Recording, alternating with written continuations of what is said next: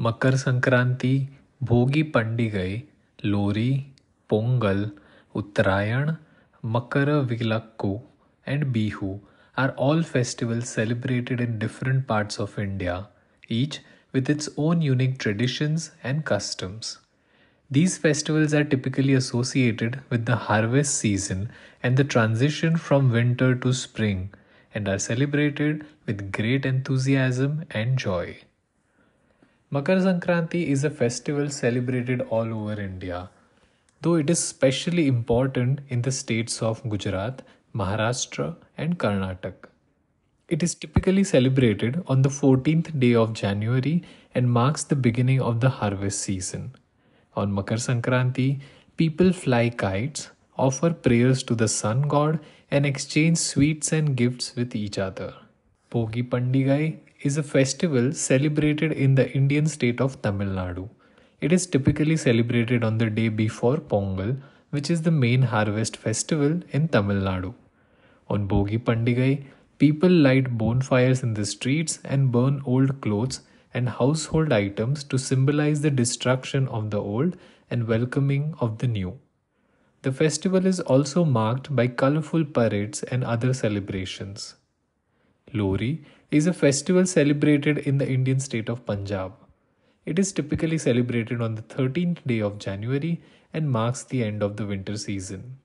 On Lohri, people gather around bonfires and offer sweets, peanuts, and other treats to the fire as a way of seeking blessings from the gods. The festival is also marked by traditional songs and dances and is seen as a time of joy and celebration.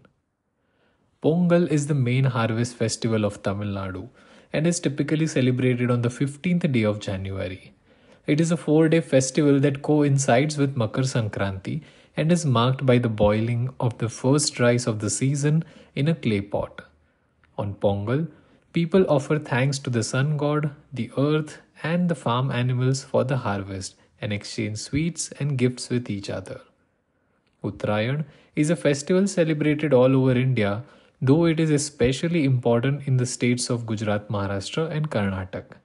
It marks the transition of the sun from the southern hemisphere to the northern hemisphere and is seen as a time of renewal and new beginnings. On Uttarayan, people offer prayers to the sun god and celebrate the lengthening of the days. Makar Vilakku is a festival celebrated in the state of Kerala.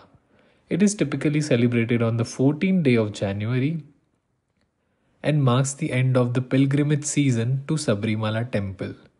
On Makar Vilakku, people gather at the temple to witness the appearance of a divine light, which is believed to symbolize the presence of the deity.